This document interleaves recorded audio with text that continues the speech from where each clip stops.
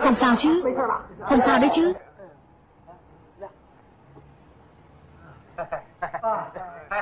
Ôi, giỏi quá. Cử thật. Giỏi thật đấy.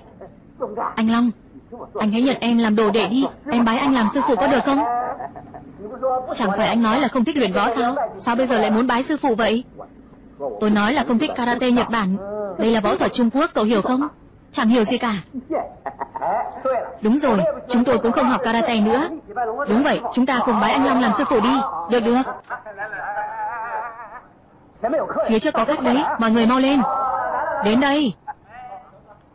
Xin mời. Các cậu mau thay quần áo đi.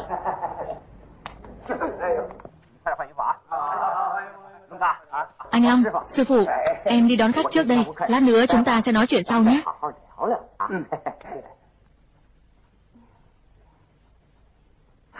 Xin chào. Cô Trần, có chuyện gì cần tôi làm không? Anh hãy chú ý giúp tôi mấy tên lưu manh đó. Tôi sợ bọn chúng sẽ đến đây